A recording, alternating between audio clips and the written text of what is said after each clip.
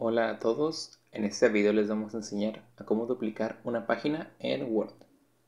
Para ello, lo primero que vamos a necesitar es abrir un documento en Word.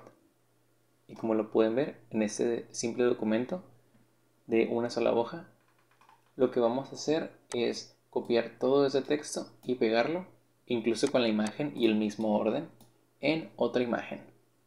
Para hacer esto de la manera más eficiente, tienes que presionar control, el símbolo de más y la letra A para que se subraye todo el texto y las imágenes y se copie con el mismo formato.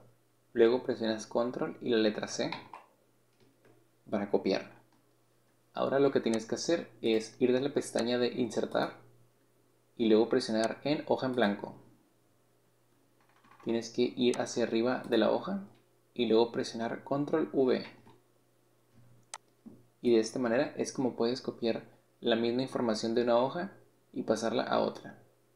Como lo ven, aquí aparece una imagen y acá otra en el mismo formato. De esta manera es como puedes duplicar una página en Word. Incluso ahora que has copiado el texto, puedes repetir este proceso varias veces. Seleccionamos una nueva hoja en blanco y luego lo pegamos. Ahora tenemos tres copias del mismo documento en Word. Y bien, estos fueron todos los pasos que necesitas seguir para duplicar una página en Word. Espero que te haya gustado este video. Si quieres más tutoriales de este tipo, no dudes en suscribirte. Y si tienes alguna duda, no dudes en dejarla abajo en los comentarios.